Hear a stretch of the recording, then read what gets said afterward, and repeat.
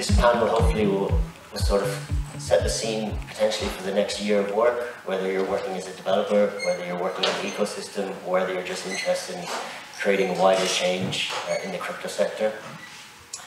So today we have members, mostly I think from the Monero Policy Working Group, and we're going to talk a little bit about um, emerging cryptocurrency regulations, um, to talk about potential impacts, and, and potential ideas for, for creating change. Um, I think we can start maybe with, a little introduction from everybody. Um, so I'll start myself quickly. I'm, I'm MIDI Poet. Um, I kind of was one of the initial founders, I guess, of Monero Policy Working Group. Essentially, it's just a group of us got together. We started seeing the regulatory space evolving, and we felt that we needed to have or try and have a say in the conversation as it developed. So from there, we responded to a number of consultations, public consultations, uh, and we tried to just have a voice, and, and, hopefully we weren't just shouting into the void. Um, we started that in about 2019. Uh, it went on for about two or three years, I guess, uh, and we probably in total responded to about uh, six public consultations, um, and that's kind of brought us to where we are here. So uh, I'll pass on to ArticMine if you want to give a quick intro. Um, I'm ArticMine. I'm one of the members of the Monero Policy Group. Um, and I got involved primarily because I was very concerned about some types of regulations and what their impact on Monero were. Um, so that's kind of my, why I'm here. Um, I'm Amber Scott. I'm the founder and CEO at Outlier Compliance Group. Um, we essentially try to keep folks out of trouble um, we also do public consultations and, and, work with a number of different governments and regulatory groups. And I will say, I know it feels sometimes like shouting into the void, um, but in talking to our regulators and our policymakers, they do have folks that read every submission. And if there's any academics in the room who've ever done a collation of survey data or things like that, that's kind of the thing that they do. So not everybody reads every submission, but they have specific people that are tasked with collating that data that they get back from the submissions and bubbling that up to the people that are actually the pen holders. So the more that there are people that care about privacy rights, that care about individual civil liberties, that are commenting on these things, the better it is, um, in, in my opinion. So thank you for the work that you do in that regard. Hello everyone, my name is uh, Andrea. I joined the uh, Monero Policy Working Group uh, last year uh, in uh, Uh, after MoneroKon in uh, Lisbon, and uh, I'm just a teacher, and I'm just trying to providing uh, to, uh, to, provide some philosophical insights into into the work of the group, and I'm really grateful for the work that, that, they're doing because I'm learning a lot in engaging with these people. So um, that's it. Great, and hi everybody. Uh, I'm Deanna, or Diddle D online. Um, and yeah, member of the Monero Policy Working Group since the beginning as well. Uh, happy to be a part of uh, the discussions around regulatory, the regulatory environment, where policy is heading, uh, helping to inform, educate, and at the very least review uh, certain regulations that are coming out. I'm a global political economist by my academic trade, and I generally been working uh, as an entrepreneur applying blockchain and various tech in, uh, in industry. But yeah Hello everyone, I'm Justin Ehrenhofer. I'm from Cake Wallet, the Vice President of Operations there. I have a kind of interesting background because I started writing ways to you know, publish Breaking Monero series and was familiar with a lot of the Monero background there. And then after college I worked in cryptocurrency compliance for an OTC trading desk for two years and that gave me a pretty good oversight on what other exchanges were doing for their other compliance programs, having been the one who had to evaluate them, go through them, and so it gave me a pretty good worldwide view.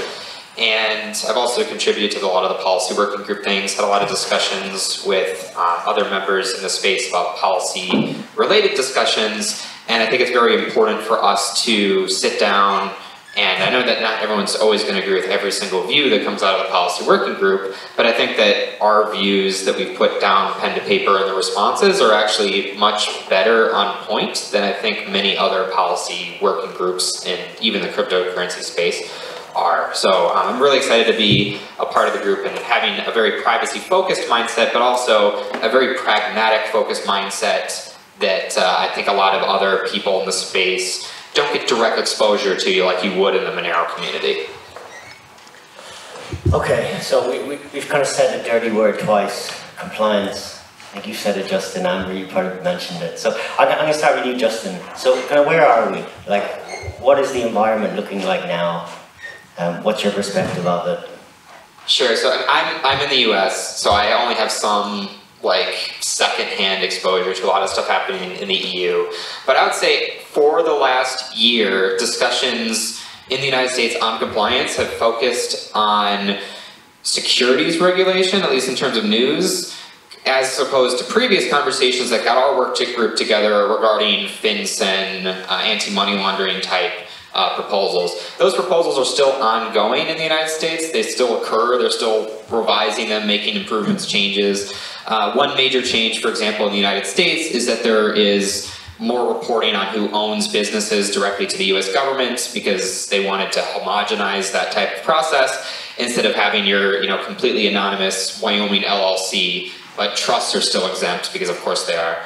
Um, but um, yeah, the main focus in the United States has been on securities. I would say in the EU recently, the focus, as far as I can tell, has been a little bit more on the AML side, anti-money laundering side specifically, because there are some proposals going through and, and being discussed. Um, but those are not going away on the United States side. Those discussions will continue. It's just taken a backseat compared to 2019 when there was the midnight rulemaking, for example. And I, I think on, on the international stage, if you're not reading publications that come out from the Financial Action Task Force on the anti-money laundering side, then you're not really seeing where the puck is going, to use a Canadian euphemism in, in that regard. Um, there is a lot of commentary, um, and that's specific to anti-money laundering, about what's referred to in that space as anonymity enhancing technology, and I find that nomenclature particularly interesting um, in that the conversation isn't about privacy enhancement, it's not about privacy protection, um, it's about anonymity enhancing technology, and that's the language that's used in that space. Um, currently, the emphasis is really on centralized finance, um, but there are really interesting things um, happening in terms of the discussion of decentralized finance and what that looks like, discussions about how that should be regulated, um, and I don't think that it's a question of if, and that's probably going to be a very unpopular position in this room, but the conversation in a regulatory context is really about how do we regulate that? How do we protect people? Um, the conversations in our context have been, in, in the context of this conference, have been very much about regulatory attacks. And I think it's important to preface that regulators don't see it that way in their thinking. They don't see their actions as being an attack on privacy or an attack on an individual. They see themselves as having the responsibility to protect society and to protect individuals. And you can agree with that or disagree with that, but I need you to understand that that's the perspective that exists in those policymaker circles. And I think sometimes in, um, and, and this isn't specific to Monero, I will say this about virtual currency generally, we don't do ourselves any favors in terms of some of the types of commentary that we make publicly. Um, and, and I'll give a non-crypto example of this. You can use a knife for a whole bunch of things. You can use it to cut a steak, you can use it to cut an apple, you can use it to stab people. But I don't see a lot of knife companies advertising themselves as the best knife for stabbing. Um, but in the crypto sphere, we do have things where um, immediately someone will jump in on a commentary and be like, oh, you should have used uh, a particular virtual currency or a particular protocol to avoid sanctions or to do something that's law violating. And I, I think it's naive of communities to think that those aren't things that regulators are also paying attention to and that when they see these things, they look at it and say, how do we protect people? Um, how, how do we deal with these things? And I'll, I'll leave that there as food for thought. I mean, that was a great response, Amber, thanks, but I think it's important to note that like the technology itself is multi-purpose use, right? So then it ends up asking the question, or at least begging the question to be asked about whether or not there should be different rules for different implementations of the technology. So I don't know if any of you have any views on that. Should we be viewing cryptocurrencies different from securities entirely, or should they be packaged together? Yeah, go ahead. Um, well, I, I kind of feel uh, that there's a couple of issues here. I mean, I originally started getting involved with Bitcoin in 2011, and I was quite aware of the very first regulatory, one of the very first regulatory proposals from FinCEN in 2013. Um, and I paid very close attention to that proposal and, and to a regulation. And one of the things they identified was decentralization, or what they called uh, decentralized virtual currency. And it had some very strict requirements. And interestingly, the very few currencies, actually, um, cryptocurrencies actually met that. And you have to have no pre-mines and no emissions that are given to founders, um, which essentially involve money transmission. And there were very few currencies, cryptocurrencies that met it. And I, from memory, but I would say right now I'm on the top 20, I would, I would identify Bitcoin, Dogecoin, Bitcoin Cash, Litecoin, Monero. Monero is actually one of the most compliant currencies.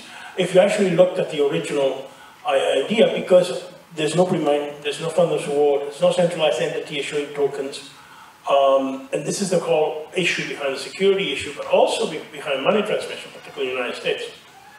So there definitely has to be a very clear distinction between a truly decentralized virtual currency that is honestly, and what I would say an honest cypherpunk, and what I have found in the industry, which quite honestly I really sympathize with a lot of the regulators on, is that there are a very sizable number of what effectively can be called banks or unregistered securities masquerading as cypherpunks. And when regulators simply say a bank is a bank and we're going to treat it the same, they'll say, wait a minute, you know, we are decentralized. We're not really decentralized. You've got this centralized entity and this is what we're targeting. So I think that's this distinction, which is very clearly delineated in the original FinCEN guidance of 2013, needs to be maintained. Are you decentralized? Are you really decentralized? Or are you pretending to be decentralized? There's a really fun acronym, which is a, like DINO, like Dino or Dino, that shows up for decentralized in name only in some regulatory publications. And I think it's a, a pretty good indicator of how much regulators are paying attention to that phenomena that you mentioned. Yeah, Deanna, I want to bring you in because I know you've had a lot of interactions in sort of broader blockchain space, right, for lack of better words. Do they have the same worries regarding regulations, or are they sort of divorced from it, or are they more accepted of compliance requirements that they may face moving forward? I suppose it depends what circles we're running in. Um, I would say generally speaking, there is a difference between, of course, digital assets, cryptocurrency, and blockchain, but with what is really referred to as the distributed ledger technologies, DLTs. So I think at the, you know, the ISO definition was made, you know, five, six years ago on that, um, ISO, the standards bodies. Then it went to, I mean, at the OECD, where I've been doing a lot of work on frameworks for regulating across the you know, the OECD countries. It is distributed ledger technology that is used as the language, and generally speaking, that's defined as anything, any type of uh, solution that's using a distributed ledger. Where they do get stuck, and to bring it back to this point of decentralized versus centralized, is defining what distributed is, technically speaking, but also being able to prove that a network, in fact, is distributed and not centralized. Secondly, uh, if and when a, you know, an organization, a group of people, or a company in this case becomes, uh, it's quite aware that they're centralized, there really is an absence of regulation for what to do if it's a decentralized network. So it's quite easy to have uh, a response in most states to regulating business entities. Actually, Justin, you brought that up with the US. Uh, the trajectory is also treating a lot of crypto asset, crypto asset companies as business entities themselves. Uh, so that's pretty straightforward when things are centralized. You know, you're not reinventing the wheel, we have already regulations and ways to deal with that. But when you're decentralized, there really is a, a gap in the absence of who is held accountable, Um, how do we ensure that there is essentially a way to be able to hold a network or a group of individuals accountable for any type of potential uh, issues that may come up. But importantly, I don't think that there will be regulations um, or filling the filling of the gap of, of decentralized communities, entities, you know, chains, because at that stage it becomes an entirely new ballgame. And I think generally speaking at OECD level that I've seen is also at the European Commission, uh, the US is also going towards this. It's, they'd rather leave a gray area and leave it undefined so that there is less, there's more ability to be able to police and uh, regulate kind of off the books. So I I mean, that's the. I don't think they're just leaving a gray area, they're actively expanding the gray area as it relates to decentralized exchanges, at least as it relates to money transmission activities. So, in the United States, FinCEN has at least a pretty straightforward definition of what money transmission is. Of course, it's different in some countries. In fact, it's probably more blurred in Europe than the United States, just because in the US it's actually pretty well defined overall.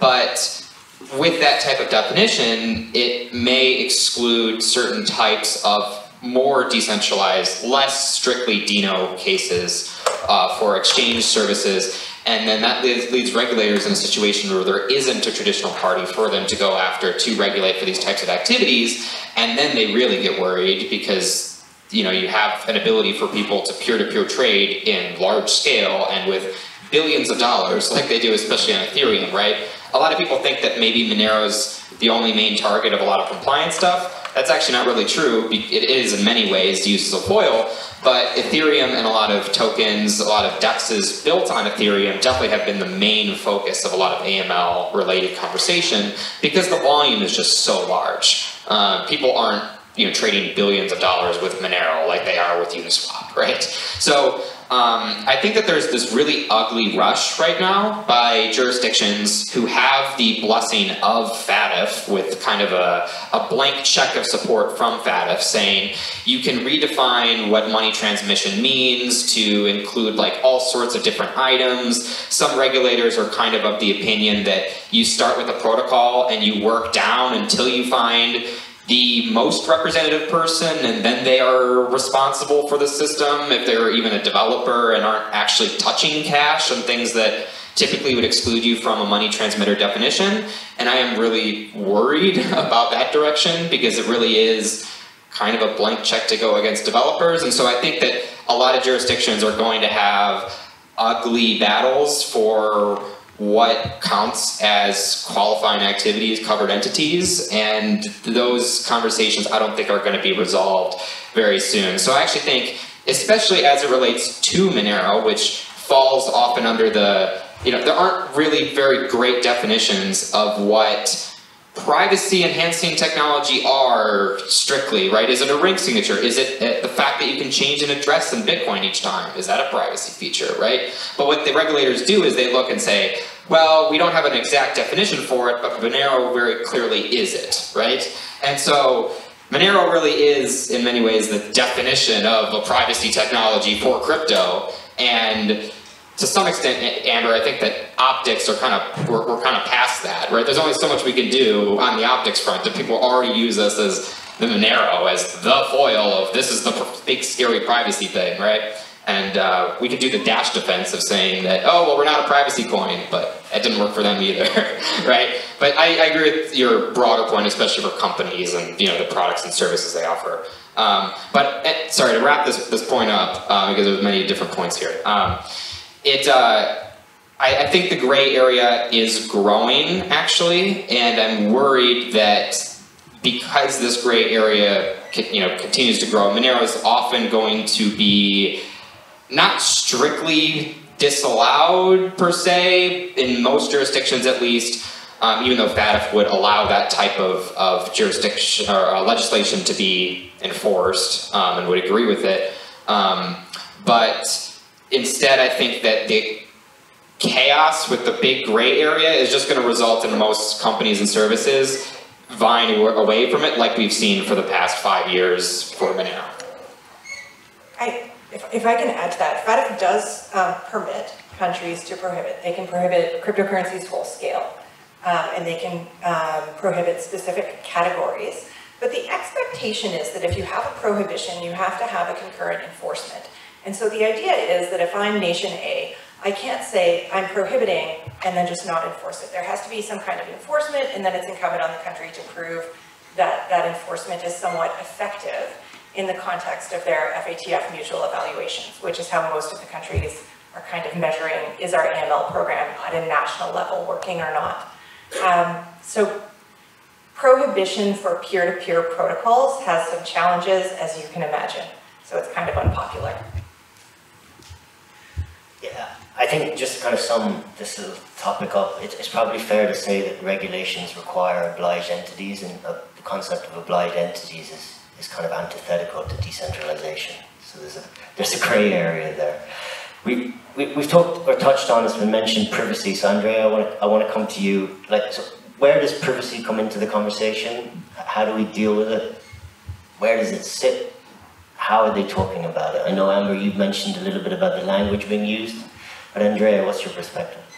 Yeah, um, I want to expand a little bit about the uh, language thing, because uh, actually I'm not a lawyer, but in the last year I read quite a bunch of, uh, of regulations, and the first thing that is evident while reading this regulation is that it's not, really, it's not really clear what regula uh, regulators and legislators mean with privacy. And uh, think, for example, about what we, uh, you were saying before about uh, uh anonymity enhancing technologies. Uh, this means basically that the assumption uh, that regulators make uh, is that everything is transparent by default. And, that, uh, and then after that uh, you can add some, some anonymity and this move um, makes you somehow suspicious because maybe, I don't know, you try to hide something from, from regulators. Or uh, I was reading uh, last couple of months the uh, GDPR, the European regulation on, uh, uh, on data protection. And uh, again, it is very interesting, for example, that, the, that this regulation deals with privacy, but the word privacy doesn't really appear in that regulation. They talk a lot about data protection, and in theory, this regulation is meant to help users, to help individuals to protect their personal data. But in fact, if you read it, you will find a lot of clauses where basically um, uh, the GDPR create a lot of exceptions um, uh, where a public institution and private institution basically can uh, exploit personal data without even asking con uh, the consent of the individual. So in theory, it is a regulation that is meant to uh, protect personal data, but in fact they uh, legalize uh, the, um, the, use, for example, of personal data um, uh, even without the consent of, of the individual and usually they use very general uh, terms, like for example, uh, public security or legitimate interest, uh, in order to basically give a pass to the use of personal information by third-party entities. So uh, how these regulations are written is, uh, uh, uh is uh, very striking and uh, the language is very interesting to, um, and it, it, is, it is very important to read them in order to try to understand the mindset that regulators adopt because if we can understand that mindset then we can react appropriately. Um, one of the things that's kind of behind the scenes and is these assumptions. One of the assumptions, if, for example, is that Bitcoin is traceable. Um, and to put it mildly, I mean, Bitcoin has built-in anonymity functions if people don't want to accept that they are by design. I mean, essentially what you have is anonymous uh, public keys or hashes of public keys. What's behind all of this is the private industry um, known as blockchain surveillance, which, and they find that certain, that they can the presented to our regulators, we can surveil the blockchain, we can do all this chain analytics, chain analysis, and all this kind of stuff, and tell the, the tell a person, uh, a law enforcement officer with an undefined degree of certainty whether or not a particular address is, is related to a criminal activity or terrorist financing, etc., or sanctions evasion. And the reliability of these tools are not known. Um, they're kept quiet and proprietary. Um, and what Monero has done very effectively is it makes it blatantly obvious that these tools don't work in Monero. And that's kind of the implied definition of anonymity enhanced cryptocurrency or privacy coin. It's really, we have basically made it obvious that a tool that doesn't really work in Bitcoin doesn't work in Monero. Um, and that tends to be what's kind of vaguely written into a lot of the regulations. So a great example of this is um, in the EU, um, MiCA, uh, this particular article where it says uh, it defines anonymity and um, uh, enhancement and anonymity enhancements and built-in anonymization features is a word. Well, what is the built-in anonymization feature? Does that mean it, it applies to Bitcoin? Or is it simply, well, it's really obvious that this blockchain serial doesn't work, which is basically applying it to Monero. And, and, I, and this is, I think, an issue which is going to be more significant once more questions are asked about these tools, uh, and more questions are asked about how reliable they are. And in fact, then the argument becomes you really want to use Monero not to hide crime, but to prevent yourself from being falsely accused. So the narrative suddenly changes to um, I'm not comfortable using Bitcoin because I have no control what happens to whoever I provide my Bitcoin to. If they then turn around and do something untoward or something illegal, then I'm going to be accused of or, or associated with that activity. I can protect myself by using Monero, but not by using Bitcoin. And then it's a perfect example. A credit card, for example, is more deterministic and you don't have that same problem. But uh, this, this is, I think, an underlying question, and I expect it's going to become a lot more visible in, in the future, and a lot more questions are going to be asked. Yeah, just, just to jump in and to touch on what Andrea was talking about as well with personal data, I think it, in the world of data protection, anonymization functions or pseudonymization functions or, or inbuilt anonymization functions um, are usually a positive thing. They improve the level of data protection that's uh, given to the data subject. But in the financial space, uh, the tools that are used to improve the level of, of privacy affordance to the data subjects is now a bad thing. And, and there just, there, seems a mismatch there that hasn't been resolved, and I'm not sure if it will ever be resolved, because I think there are fundamental tensions with actually the regulators as well, uh, and, and, and the two sectors as they sort of collide. Um, from a European perspective, like there are distinctions, clear distinctions between your fundamental right to privacy and your fundamental right to data protection. There's overlap, and, and a lot of the commentary and a lot of the, the work that's been done tries to understand the level of interaction between those two concepts, i.e. data protection and privacy, but it's very blurred. Uh, and, and it will probably remain pretty blurred because it's not quite clear where one starts and, and the other ends. Please, yeah, go ahead. And another question that we should ask about this uh, uh, this uh, this problem is: Is privacy really a right? because uh, uh, the, um, there's this talk about uh, fundamental rights. Is, it, is a fundamental right the same thing as a, natural right? Or it is just a positive right that uh, should be protected by an institution? Or maybe there is someone that uh, um, think that privacy is not really a right, but it is just a, con a condition to protect uh, some information that you want to protect or to protect something. So there are also these very deep philosophical questions behind these, uh, these regulations and uh, uh, that are not addressed, but that somehow show up uh, when, um, when these regulations are written. So, um, Just to further that a little and also add to the, the context, it's ever changing and it's dependent on each regulatory environment as well. When we're talking data privacy, there's consumer data protection, there's financial data privacy, there is data privacy associated with our own personal uh, data as well in the healthcare sector. Each set of these different types of data are dealt, different, dealt with differently in every regulatory market. There isn't a consistent definition across the board, even if they're now starting to be definitions. And when it comes to exactly that, is privacy a fundamental human right? And is financial privacy a fundamental human right? So it even goes even deeper, further into um, sounds quite pedantic, but it really, like the policy working group, a lot of what we do, a lot of what we will continue to do is literally write definitions or try to influence how things are being defined.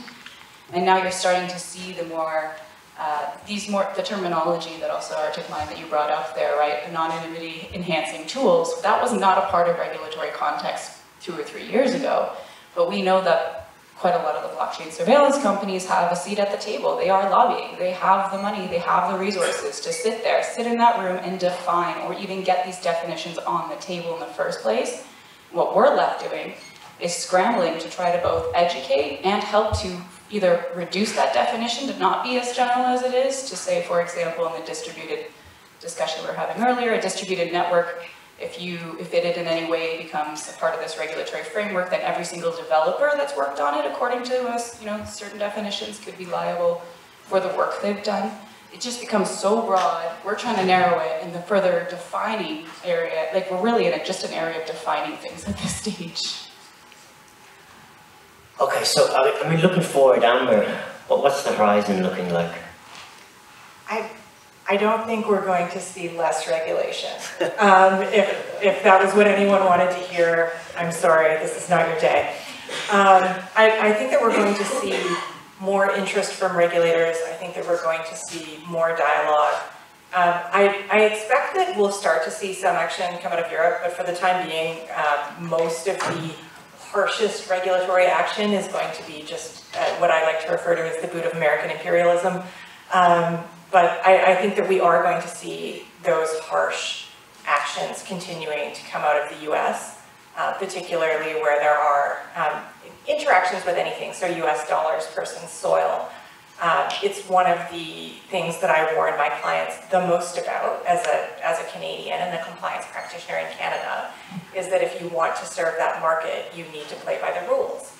And we see very different types of regulatory action. So uh, for instance, uh, there will be undercover um, individuals in law enforcement in the US that will reach out to exchanges and say, hey, I'd like to do this transaction with you and it's in cash. And they're super blatant about it, by the way. Like if you ever get a phone call and you're like, wow, was that an undercover agent that was really bad at their job? No, they were good at their job. They need it to be so obvious that in court, a judge reads that transcript and says, yes, it was clear that this is someone talking about crime and you agreed to perpetrate crime for them. So you agreed to do an exchange for them anonymously without any KYC, without any ID. They made it clear that they were in the US. They made it clear that it was proceeds of credit card fraud, whatever the thing is. And, and those are the cases. So oftentimes when you see that there was an extradition order or someone was arrested in the US, if you go deeper into those transcripts, those are the type of things that we're looking at. I don't think that we've seen an end to those cases. I think that we're going to continue to see that and that um, one of the unfortunate points of tension is that technology is global and it's instant and regulation is local and it's very specific and it's different in each jurisdiction.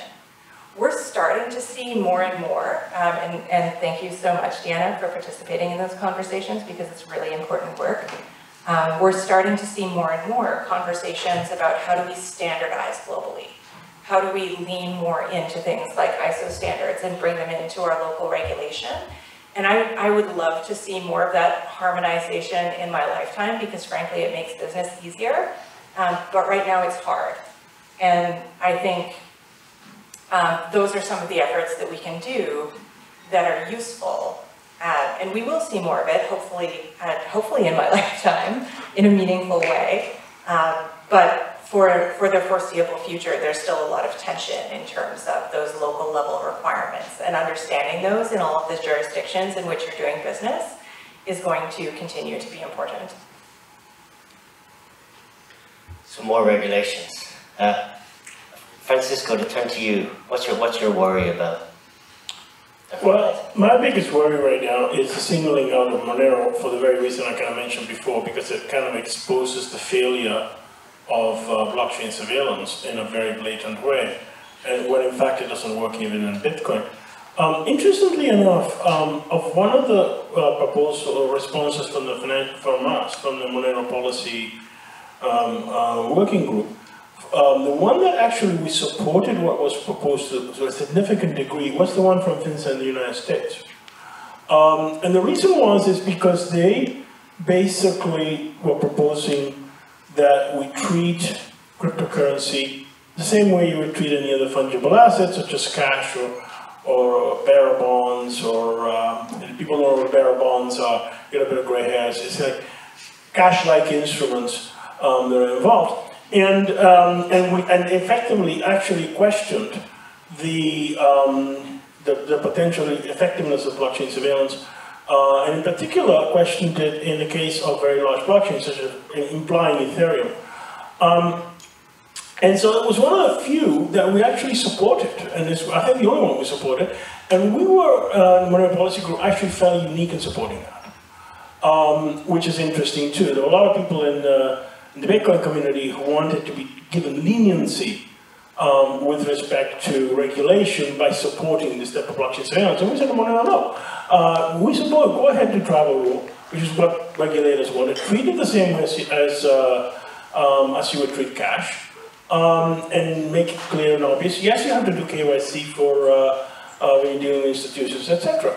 So that's kind of the distinction. So one of my biggest concerns is that we're kind of giving too much um, credibility to this idea that certain companies can just go in there and surveil Ethereum, particularly, or blockchain, or Bitcoin blockchain, and kind of give um, uh, regulators a sort of false sense of security. This is evil, this is bad, this is good, based on an unknown set of statistics and also unknown assumptions or heuristics, um, with no date, with no uh, transparency how these results are, are reached. And, and what you end up with is a tool that can very easily generate um, false positives, which effectively become false accusations of innocent people. And that's, uh, I think, a very serious problem if we rely on obscure and hidden technologies to kind of determine guilt or innocence. Just to jump in to make, make it clear, I think, as far as I remember, we supported the reporting requirements for bearer instruments, and then evenly, evenly more provocative, and it took quite a quite a few long discussions. I'm going to bring Justin in because I'm sure you can remember. We also supported the travel rule actually in one of our responses. Uh, we wanted to find the travel rule, maybe. Yeah. So for those of you who don't know, so it essentially came from uh, FATF or FinCEN, where they essentially uh, proposed a requirement for virtual asset service providers to um, record um, a set of data points for any transfer from a custodial wallet to a uh, self-hosted wallet. I think, was that the language? No, it's only in Switzerland, really. Uh, so between two exchanges. So it's between two regulated. Did they not also want to? Did they not also want to make a record of any transaction to a self-hosted wallet? That would be in the United States, separate from a travel rule. I see, but we supported that action too, if I remember correctly. So I'm take a small step back here. So there was a lot of stuff in the FinCEN midnight rulemaking. This is a few years ago. At this point, this is old news. But um, we, as a work group, opposed almost everything in there. But the key distinction between what our work group said and what every other lobbyist for the cryptocurrency, uh, on behalf of some form of some type of cryptocurrency community said, um, they argued that the certain limits uh, for transaction activities were irrelevant or, or, incorrect for cryptocurrencies because the risks are otherwise mitigated. And a big reason for that is because blockchain analytics tools exist to mitigate these risks. Now, if you have a Monero hat on or are aware that a Monero community exists, you would think, okay, well, how are Monero risks mitigated, right? And so um, we didn't want to be left behind and thrown under the bus and say, well, we want to, we have blockchain analytics, we can support this limit on these assets, but you can't support Monero at all because we don't have these mitigating factors. That's the exact opposite of what we wanted. So our work group was unique in saying that we support uh, reporting requirements and, uh, and KYC requirements that are equivalent to cash deposit uh, amounts because it's a similar bearer asset with privacy, with similar privacy properties. And we argued that you cannot rely upon blockchain analytics tools to be reliable enough to impose lower thresholds for assets that have some sort of visibility because the frank truth is that sophisticated attackers who are good at laundering money are not going to be caught by an automated AML risk tool in the vast majority of cases. And so they're not going to be caught with this risk mitigation measure. And so you shouldn't build that into a separate, only for crypt, you know, transparent crypto only special lane thing. So we argued against crypto having its own special lane from that perspective. Um, so that's that's the context there. That was different than the travel rule. The travel rule, I don't think there's been there is mostly an exchange opposition in the cryptocurrency realm, as far as I understand, against the technology implementation of this. And certain jurisdictions, most notably Switzerland, decided that the travel rule should not only apply in their interpretation to transfers between two exchanges, um, they also felt that you would need to, as a recipient of funds in your non-custodial wallet, prove for that particular transaction that you have ownership of that particular wallet and some other similar types of requirements, which is why you have uh, controversial things in the Bitcoin space about uh, you know, signing that you own a wallet and, and, like certain types of protocols to that effect, which are unpopular and uh, you know among the Samourai wallet community, for example. Um, one of the things with this is if you look at the difference between a cash transaction say, for example, a cryptocurrency transaction, in order to be able to enforce travel rule where you would normally enforce it, i.e. transfers between um, uh, different uh, regulated entities, you also have to know if you're sending funds to uh, a non-custodial wallet that is owned by one of your clients, you have to have a way of verifying that that wallet is actually owned by your client. Surprisingly, and this is one interesting thing that um, I learned this from uh, the fiat world in the United States actually, is that with a currency such as Monero where you hide the transaction amounts, there's actually a very simple way to mitigate that risk, and that is to send test transactions to the wallet, which you can only figure out if you actually have the view key of that wallet. Kind of with sending small amount of money to a bank account or, or withdrawing small amount of money to a credit card in order to verify that that person actually is the whole, the legitimate holder of the credit card to a level of risk. And I, and, and I said it's not 100%, but it does mitigate risk. Um, and that's a unique case where you can use Monero, where you cannot use virtually any other cryptocurrency because Monero hides the transaction amount, so you can actually do that. So I think that's where a bit of the confusion arises. In order to enforce travel rule in um, cryptocurrency, you also have to know about these wallets that someone withdraws to their own account. Is that the wallet of my client that I've already done my KYC and due diligence on, etc., or is it some third-party wallet that I really need to apply travel rule to? Or I need to um, and also, when you withdraw into a non-hosted wallet, it's kind of equivalent to somebody walking into a bank and cashing a check paid to them. That person still is going to be KYC. So you have to worry of knowing, um, from the perspective of the VASP, that you're dealing with uh, an individual that you're going to need to have to KYC, just as if you go to a bank to catch a check, you would be expected to provide identification, etc., to the bank. Um, even the check is made payable to you. So I think that's the subtlety yes, it's a different regulation in the United States, but you have to do something about these wallets in order to ensure that you can also enforce travel. Okay, so uh, Andrea and Diana, I want to bring you two both back in here. So, I mean, what should we do moving forward? Like, what, what's a plan of action? Do we have a plan of action? Well, uh, that's a very difficult question because, I mean, Obviously, uh, we are living a market process, and the market process cannot be planned, and therefore it is uh, open-ended and uh, it is a, a bottom-up process. But uh, um, probably uh, we should just, uh, in my opinion, this is just my opinion, of course, we should, we, we, we should just focus on who we are. And basically, we just need to focus on building a peer-to-peer -peer electronic cash system and and to focus on uh, transactions that happen and, uh, at a peer-to-peer level. Even all this discussion has been so far um, focused a lot, and, right, and rightfully so, on um, transactions that involve some, some sort of intermediary. But, uh, and uh, most regulations deal, uh, deal with intermediaries in the crypto ecosystem. But just remember that, uh, that cryptocurrencies are meant to uh, enable peer-to-peer uh, cash, peer-to-peer cash-like transactions. And, um, and, therefore we should focus on that. And um, I, I, also want to borrow, borrow something from Amir Taaki and, from, and from his talk this morning. I think that it is kind of inevitable that in the future, I don't know when, but in the future there will be a sort of split between uh, traditional finance and uh, dark finance. and uh, between the white markets and black markets. And uh, we should be really ready when the moment comes. We should be really ready to live a kind of double life.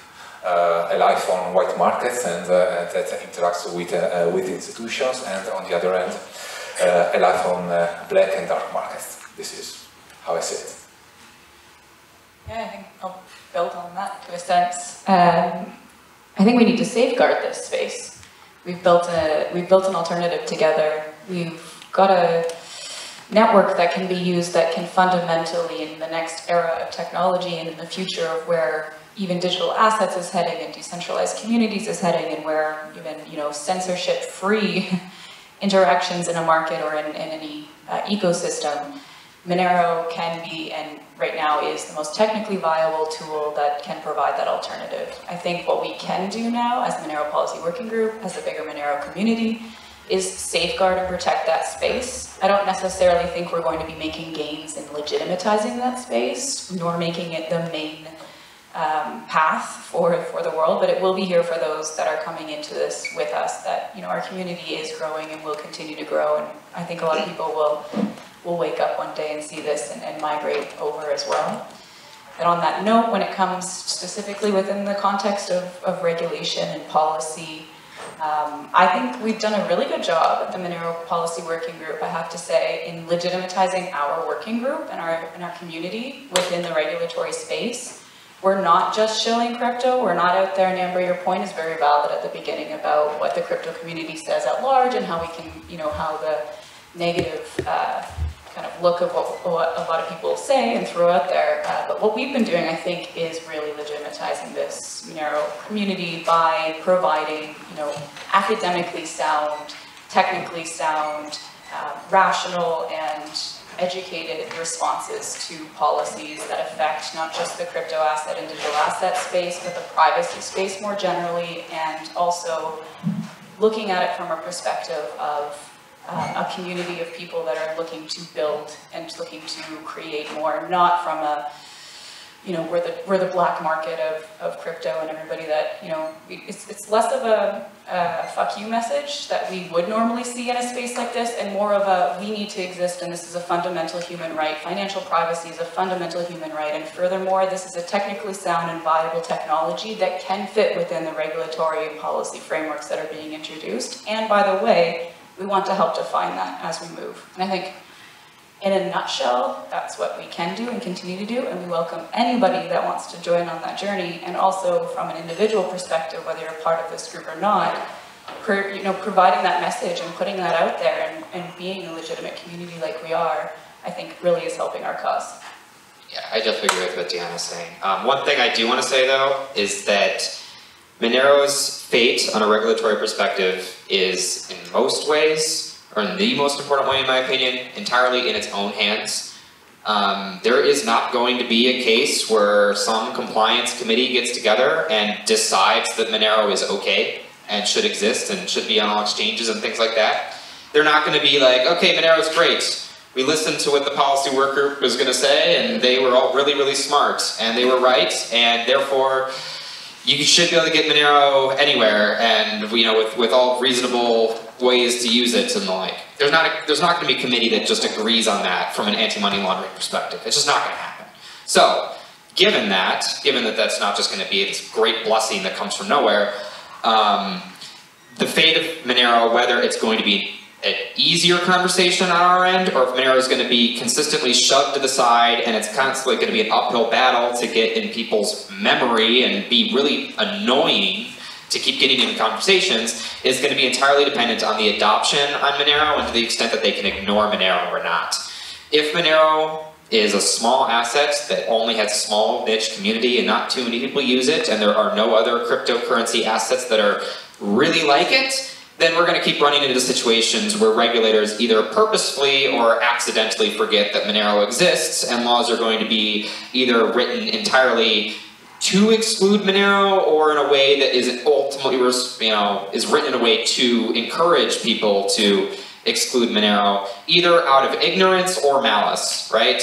And so The only way to really change that in a large scale is to force their hand so it is top of mind and they say, oh yeah, we actually do need comprehensive changes to these regs that isn't going to ignore that Monero exists. It needs to acknowledge Monero for all of its uh, privacy properties and all of its features that it has, and be able to actually make adequate, appropriate policies that address this head on instead of trying to like start with Bitcoin and then maybe adapt it to Monero kind of in, in certain ways, which ultimately results in nothing happening.